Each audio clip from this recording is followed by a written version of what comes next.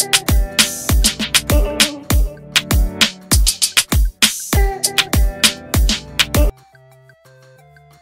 ุลคแมนเหนือกว่า ยกทีมปะทะมวยไทยเจ็ดคู่ชนะเกินครึ่งแฟนมวยงงหนักคู่เอกเสมอได้ไงกุลคแมนเหนือกว่า ยกทีมปะทะมวยไทยเจ็ดคู่ชนะเกินครึ่งแฟนมวยงงหนักคู่เอกเสมอได้ไงทั้งเตะทั้งกวาดแต่ไม่ชนะนักชกดังกัมพูชาผลการชกศึก KAS ไฟ6ที่สนามโอสเตเดียมพนมเปญเป็นการยกทีมปะทะกันระหว่างมวยไทยกับกุลคแมวันที่ 27 กุมภาพันธ์ คู่เอกก้าวหน้าที เคแสนชัยมวยไทยยิ้มเสมอกับเมียนซกอัดนักชกดังกัมพูชา รองคู่เอกสมิงเดชนอ อนุวัตยิมชนะคะแนนคินโบราคู่อื่นๆ ที่นักมวยไทยขึ้นชกประกอบด้วยเพชรอนุวัตนอ อนุวัตยิมแพ้คะแนน โซดานักชกกัมพูชาทูลพาณิชย์กัมพูชา ชนะคะแนนราวีลูกสวน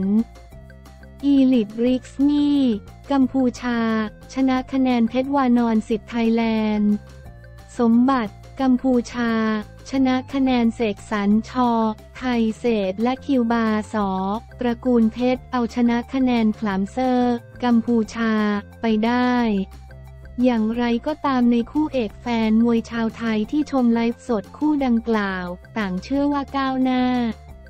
ทำผลงานบนเวทีได้ดีกว่าชัดเจน ทั้งลูกเตะและจังหวะฝีมือ แต่กลายเป็นว่าผลการตัดสินกรรมการให้เสมอกับคู่ชกชาวกัมพูชา ไปอย่างน่าเสียดาย ผู้สื่อข่าวรายงานว่าการแข่งขันศึก KAS ไฟ 6 มีแฟนมวยทั้งไทยและกัมพูชาให้ความสนใจรับชมผ่านทาง Facebook Live โดยชมสดถึง 1.4 แสนวิวเลยทีเดียว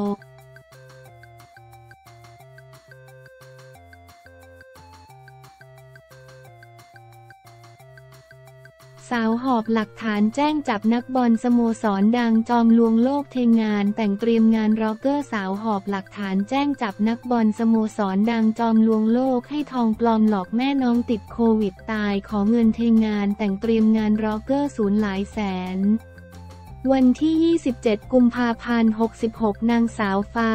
นามสมมุติ อายุ 20 ปี ชาวอำเภอละหานทราย จังหวัดบุรีรัมย์ พร้อมครอบครัวได้หอบหลักฐานทั้งสร้อยทองปลอม รูปถ่ายการเตรียมจัดงานแต่งเข้าแจ้งความที่สพละหารทรายให้ดำเนินคดีกับนายเอ็ม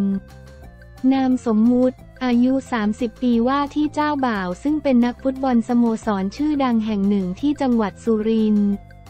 โดยนางสาวฟ้าให้ข้อมูลว่านายเอ็มแฟนหนุ่มสร้างเรื่องหลอกลวงทั้งตนและครอบครัว เช่น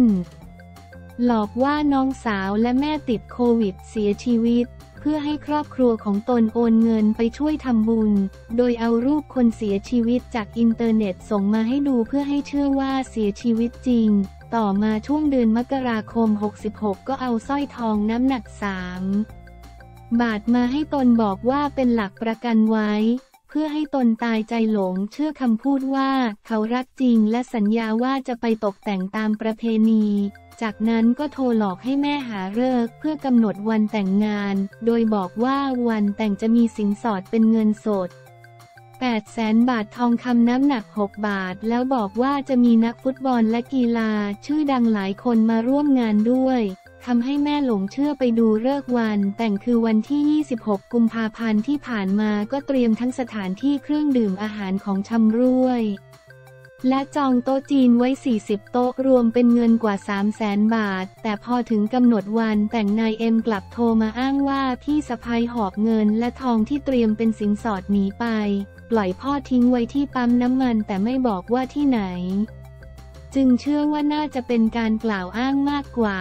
ราะก่อนวันแต่งประมาณ 3 วันตนได้นำทองหนัก 3 บาทที่นายเอ็มให้ไปที่ร้านทองเพื่อจะเพิ่มน้ำหนักทองเป็น 6 บาท แต่ทางร้านทองบอกว่าทองเป็นของปลอม ก็ตกใจมากรีบโทรไปถามนายเอ็มแต่นายเอ็มก็ยังสร้างเรื่องหลอกว่าพี่ชายเอาทองจริงไปจำนำยังไม่ได้ไปถ่ายมา ตอนนั้นก็เชื่อครึ่งไม่เชื่อครึ่ง แต่ที่มาแน่ใจว่านายเอ็มหลอกลวงแน่นอนคือการเทงานแต่ง ทำให้ตนและครอบครัวอับอายมาก ทั้งยังทำให้ได้รับความเสียหายในการเตรียมงานคิดเป็นเงินกว่า 3 0 0แสนบาท ด้วยนางสาวฟ้ายังบอกอีกว่ารู้จักคบหากับนายเอ็มได้เกือบหนึ่งปีแล้วโดยช่วงที่คบหากันก็กู่เรื่องหลอกเอาเงินจากตนหลายครั้ง ซึ่งตอนนั้นก็คิดว่าฝ่ายชายเดือดร้อนจริงและเห็นว่าเป็นแฟนกัน จึงยอมเอาทองที่ตนเองมีไปจำนำแล้วเงินให้ฝ่ายชาย ก็ไม่คิดว่าจะมาหลอกลวงทั้งตนและครอบครัวได้ขนาดนี้ เสียใจมาก เพราะนอกจากตนจะอับอายแล้ว ยังทำให้ครอบครัวสูญเสียเงินอีก อยากให้ตำรวจดำเนินคดีตามกฎหมาย เพราะไม่อยากให้ไปหลอกลวงใครแบบนี้อีก ด้านนางโป๊ะ อายุ 56 ปีแม่ของนางสาวฟ้ากล่าวว่านายเอ็มได้โทรศัพท์มาคุยเรื่องงานแต่งเอง โดยบอกให้ตนเป็นคนหาเลิกวันแต่งงาน ซึ่งก็ได้วันที่ 26 กุมภาพันธ์ ตอนนั้นก็ไม่ได้อัดใจอะไรเลย ก่อนหน้านี้พ่อของนายเอ็มก็โทรมาให้โอนเงินไปช่วยทำบุญที่อ้างว่าน้องสาว และแม่ตายด้วยความเชื่อใจตนก็โอนไปให้หกพันและอีกหนึ่งหมื่นบาทบอกว่าจะเอาไปทำบุญ เดี๋ยวเบิกค่าประกันเสียชีวิตได้จะให้คืน ส่วนที่หลอกว่าจะมาแต่งลูกสาวทางครอบครัวก็เตรียมจัดงานไว้ทุกอย่างทั้งสถานที่ เครื่องดื่มโต๊ะจีนและผ้าไหมที่ไว้เป็นของฝากญาติเขา แต่สุดท้ายก็หลอกลวงทั้งหมด แม่ยังพูดทั้งน้ำตาด้วยว่าตอนนี้สงสารลูกสาวทำให้อับอายที่ผ่านมาเคยเห็น แต่ในข่าวไม่คิดว่าจะมาเจอกับครอบครัวตัวเองเสียใจมาก จึงตัดสินใจพากันมาแจ้งความเพื่อให้เอาผิดตามกฎหมาย จะได้ไม่ไปหลอกลวงใครอีก ขณะที่ทางตำรวจบอกกับครอบครัวว่ากรณีดังกล่าวเป็นการผิดสัญญา ไม่เข้าข่าวหลอกลวงจึงแนะนำให้ลงบันทึกประจำวันไว้เป็นหลักฐาน พร้อมแนะให้ไปหาทนายฟ้องร้องเพราะเป็นคดีแพ่ง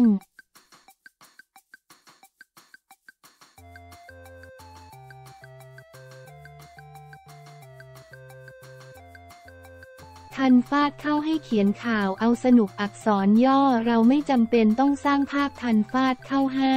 จากกรณีที่ป้าแมวดาวพระศุกหรือป้าแมวรุ่งการดาเบญจมาพรนักแสดงอาวุโสที่ออกมาให้สัมภาษณ์ก่อนหน้านี้ว่า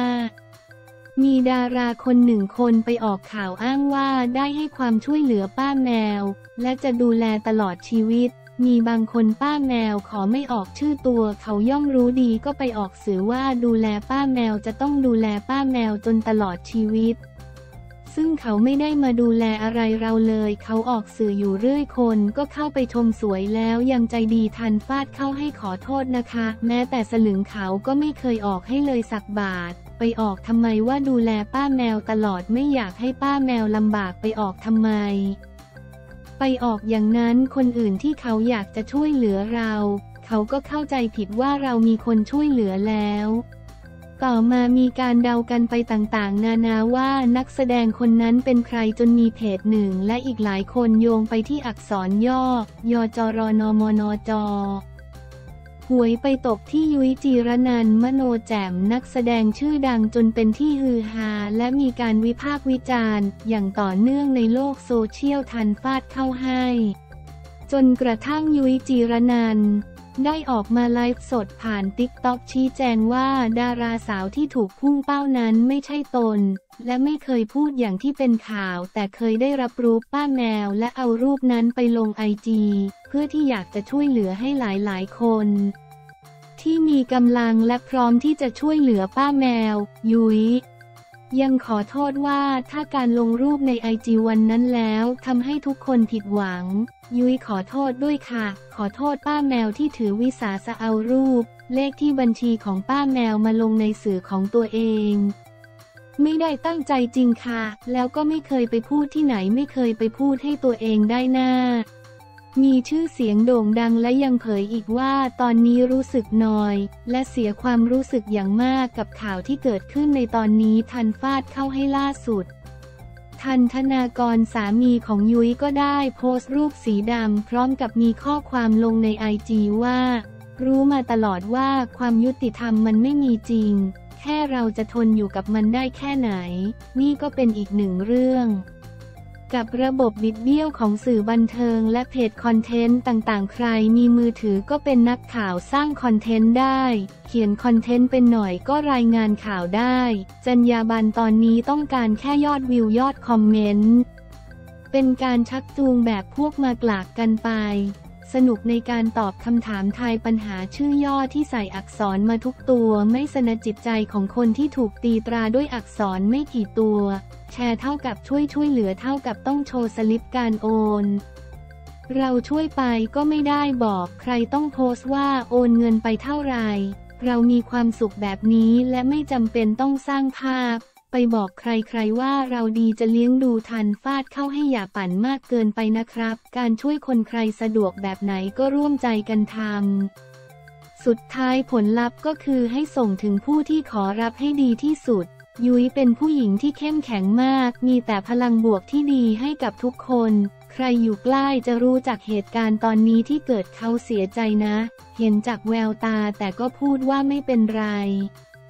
ผมเห็นแล้วเจ็บในหัวใจฝากให้นะครับ รู้ให้จริงก่อนจะเขียนอะไรนะครับ ด่าผมได้ต่อย่าด่าภรรยาผมในสิ่งที่เขาไม่ได้เป็น ขอบคุณไอจีทูนขีดล่างตนคร